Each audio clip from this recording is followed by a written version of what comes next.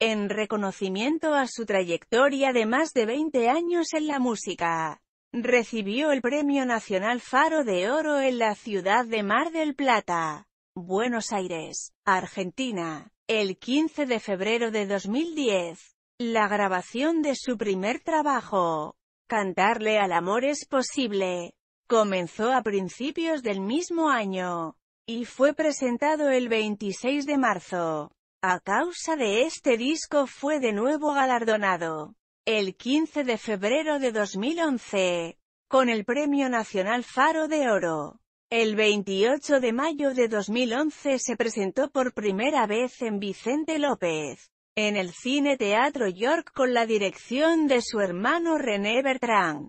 El 23 de septiembre de ese año, en La Manzana de las Luces, ofreció un nuevo espectáculo con bailarines y una murga de Buenos Aires que acompañó cada bolero y candombe. La grabación de Así es mi amor comenzó el 19 de enero de 2012. En él comparte tema con su madre, María Rosa Fugacho. Fue presentado en el Auditorio Buenos Aires el 15 de septiembre. El disco, que combina jazz, tango, bossa, zamba y candombe, supuso su tercer premio Faro de Oro. El 15 de febrero de 2012. En abril del mismo año inició un ciclo musical y cultural, denominado Ciclo Jueves de Boleros en Buenos Aires, en diferentes locales de Buenos Aires. Declarado de interés cultural por la Secretaría de Cultura de la Nación Argentina bajo la Resolución SCN 245 sobre 2010. Fue figura destacada en el noveno Festival Internacional del Bolero llevado a cabo en Colombia. En noviembre de 2012, declarado de interés cultural y provincial por el Ministerio de Cultura de la provincia de Buenos Aires bajo la resolución ICN 09-2013 ganador del disco de oro en el Festival Internacional de la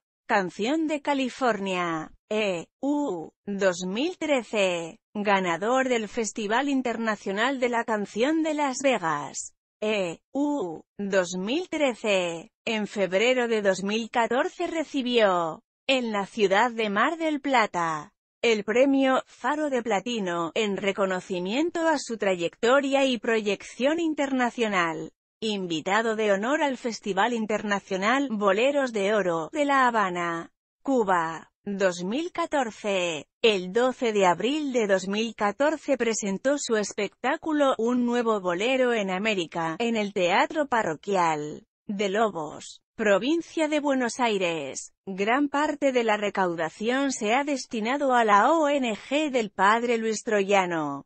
Los domingos del mes de junio de 2014. Y auspiciado por el Ministerio de Cultura. Argentina presentó el ciclo Historia, Poemas, Boleros, Tangos y Candombes en la histórica Sala de los Representantes del Complejo Histórico y Cultural Manzana de las Luces, a sala llena, y con cientos de concurrentes que quedaron sin poder ingresar. El 20 de septiembre de 2014 Javier Caumont presentó su espectáculo musical, Primavera. Boleros y Amor, en el Cine Teatro York de Vicente López. Contó con la participación especial de los artistas Vicky Buccino y Roberto Piacha. Durante 2015, presentó con éxito su espectáculo Boleros sin Jazz en reconocidos espacios culturales de Buenos Aires también fue reconocido y distinguidos